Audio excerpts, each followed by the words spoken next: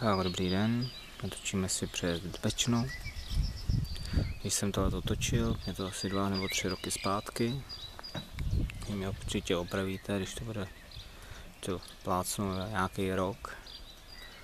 Natočíme si ho z druhé strany, jsou to takové návraty.